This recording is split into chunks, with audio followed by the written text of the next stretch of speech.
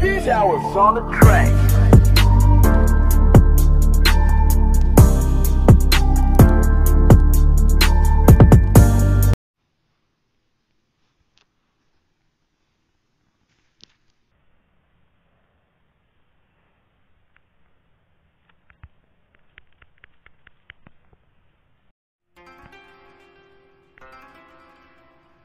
Thank you.